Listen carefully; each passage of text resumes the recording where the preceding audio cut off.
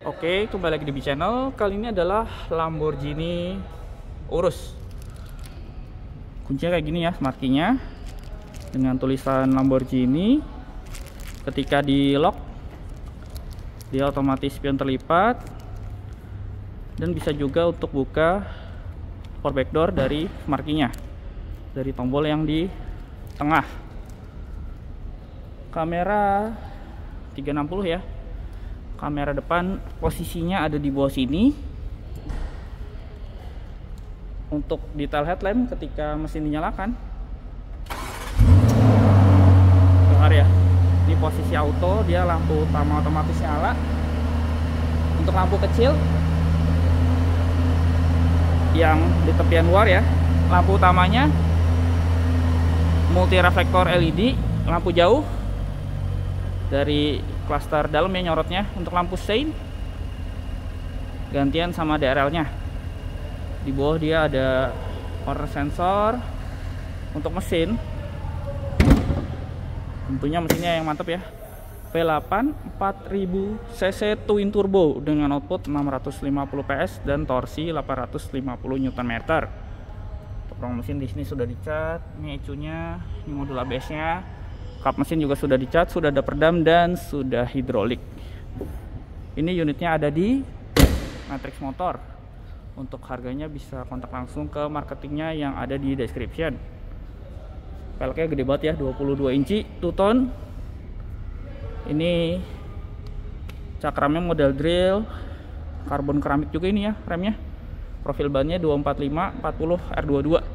Di sini ada Eton over fender warna hitam doh, ciri khas SUV ada bendera Italia ya di fendernya spion suara body di atas dia ada panoramic sunroof window line black glossy handle model tarik suara body dengan akses marquee model sentuh.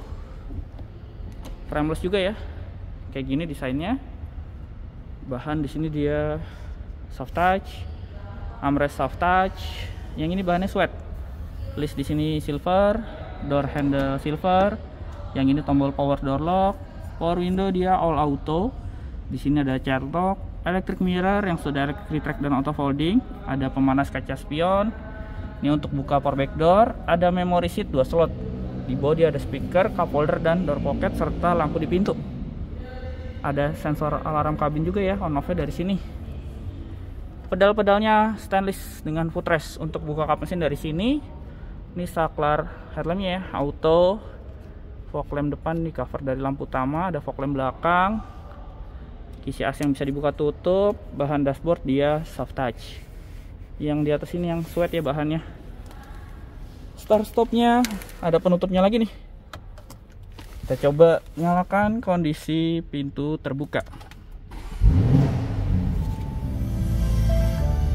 Speedonya sudah full TFT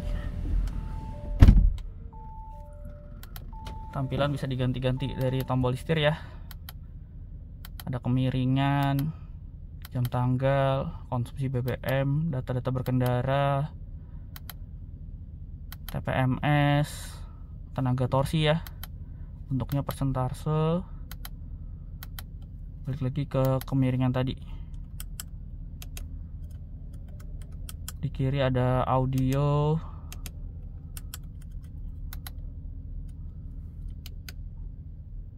di sini juga ada menu-menunya lagi nih. Ada navigasi juga ya. Dan data-data tadi juga bisa ditampilkan di kiri. Termasuk ada drive assist pengaturan dari sini. Di sini dia ada cruise controlnya. Ada shift untuk menurunkan. Ada saklar untuk dim dan sein ya di kanan sini dia ada audio steering switch tombol-tombolnya. Audi banget ya di sini ada pedal shift untuk menaikkan. Saklar wiper sudah auto. Setirnya dengan stitching warna kuning. Dia flat bottom ya di sini juga ada bendera Itali. Pengaturan setir ini masih manual ya. Tilt teleskopik lengkap. Di tengah ada kisi AC nya yang masing-masing bisa dibuka tutup untuk layar utama di sini ada radio media telepon navigasi phone apps ada menu urus. Ini untuk setting drive mode ya. Yang ego ini bisa di custom nih. Traction handling ride. Ada haptic feedbacknya tombolnya. Car information TPMS tadi kemiringan. Di sini juga ada kursi. Easy entry ya. Ada AC settingnya dari sini. Di sini juga ada untuk lampu exterior light background light ambient light ini ya. Brightnessnya bisa diatur. Dan pilihan warnanya juga ada banyak. Dan ada yang permukaan ya. Nih pilihan warnanya.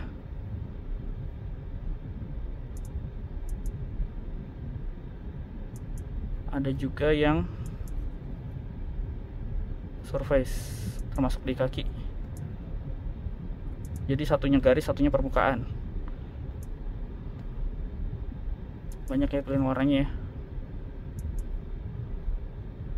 Brightness juga bisa diatur.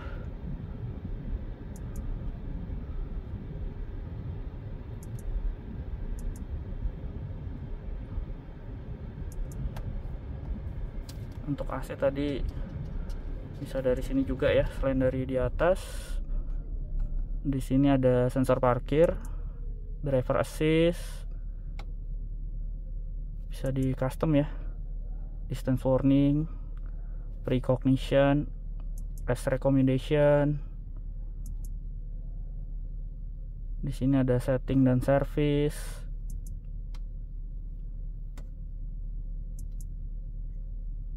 Di sini juga ada favorit.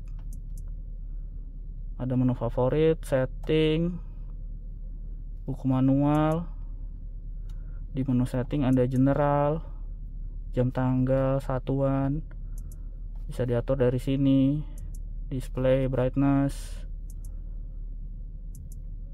untuk bahasa suara sistem maintenance software update entertainment navigasi.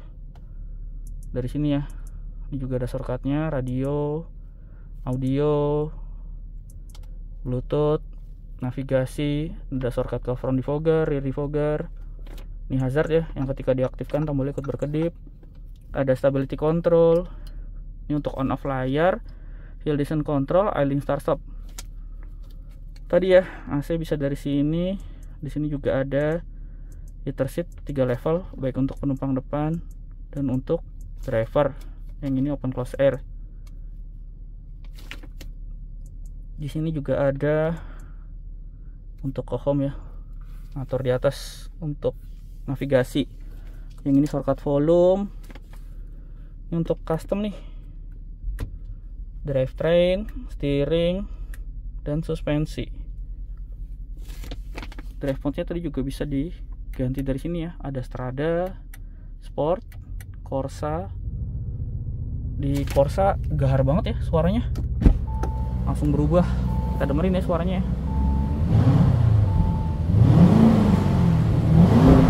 Itu ya.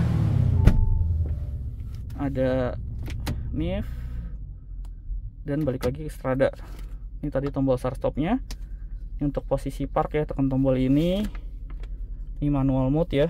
Sudah electric park brake dengan auto hold. Ini untuk driver assistnya. Dan ini kamera parkir sudah kamera 360 kayak gini tampilannya.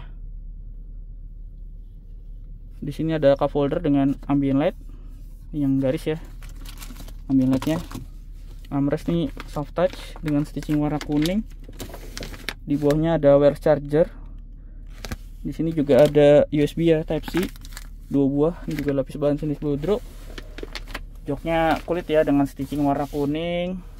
Seatbelt juga warna kuning dengan head adjuster nggak ada hand grip ya. Plafon juga mewah yang bahan sweat.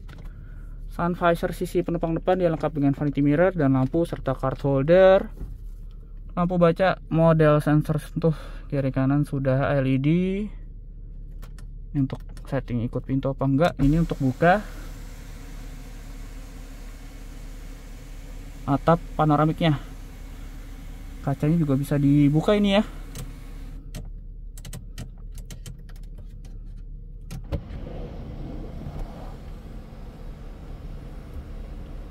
ini posisi kaca terbuka maksimal. Untuk buka kacanya dari knop yang di depannya lagi. Untuk spion tengah dia frameless auto dimming. Sun visor si driver juga lengkap dengan vanity mirror dan lampu yang sudah LED dan ada card holder. Ini airbag untuk penumpang depan. Laci dengan pengunci dia soft opening lapis bahan sini 10 draw serta ini layout dari door trimnya.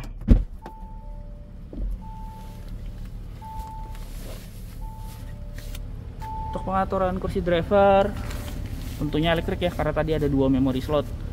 Lumbar support juga di sini 4 sisi. Di belakang juga ada akses marquee model sentuh. Frameless juga ya yang belakang kayak gini desainnya. Bahan di sini dia soft touch ada list silvernya door handle silver, power window sejajar armrest. Di sini bahannya sweat dengan ambient light ya. Di bodi ada speaker dan ada door pocket. Di belakang kursi driver ada seat back pocket. Begitu juga di belakang kursi penumpang depan. Ada kisi AC untuk penumpang belakang. Bisa diatur juga ya suhunya. Paling dingin dia 16 untuk paling panas dia bisa sampai 28 derajat celcius. Speed fan juga bisa diatur dari sini. Jadi bener-bener individual ya pengatur arah semburan speed fan dan suhu bisa atur masing-masing penumpang belakang kiri dan kanan. Di bawahnya ada power outlet 12 volt dan ada USB type C 2 buah. Ini ada tunnelingnya ya ini penggerak 4 roda serta ini layout dari dashboardnya. Di atas atau panoramiknya. Di sini ada untuk pemasangan aksesoris. Ada lampu baca di belakangnya sudah LED kiri kanan. Seatbelt di sini yang rapi tercover warna kuning juga ya. Headrest adjustable. Ada emboss Lamborghini yang tengah juga adjustable. Di tengah ada akomodasi armrest jok juga sudah isofix airbag juga ada di kiri kanan kursi belakang. Di belakang ada seal plate tulisan Lamborghini. Pintu belakang juga vakum ya. Rem belakang juga cakram model grill karbon keramik. Profil ban belakang lebih lebar dia 325 35 R22 untuk stop lamp ketika dinyalakan lampu senja LED bar. Ketika direm LED barang tambah terang dan ada mount stop lamp. Untuk lampu sein LED barang tipis di atasnya. Untuk lampu mundur LED titik di tengah ya. Dan dia juga ada rear fog lamp. Posisinya di bawah di sebelah reflektor. Kuat muffler ya. Dua kiri dua kanan. Di atas dia ada rear upper spoiler antena shark fin untuk buka bagasi ini tombol elektris sudah power back door ini untuk nurunin ketinggian suspensi udara belakang ya untuk memudahkan memasukkan barang ke bagasi. Ada hook di sini ada power outlet yang model bulat 12 volt. Ada cargo net sampai separator ini bahannya sweat dengan stitching warna kuning. Di bawah sini dia ada tempat penyimpanan toolkit. Di sini ada repair kit dan segitiga pengaman untuk nutup bisa dari tombol di sini. Lampu plat nomor sudah LED kamera mundur ada di tengahnya. Di bawah juga ada sensor parkir dan ini desainnya dari belakang secara overall. Akses marquee ada di pintu belakang kiri dan pintu penumpang depan jadi di tiap pintu. Kursi penumpang depan juga elektrik ya lumbar support 4 sisi dan ada memory seat 2 slot. Ini juga floating ya konsol tengahnya. Ada ambient light di sini dia ada power outlet 12 volt.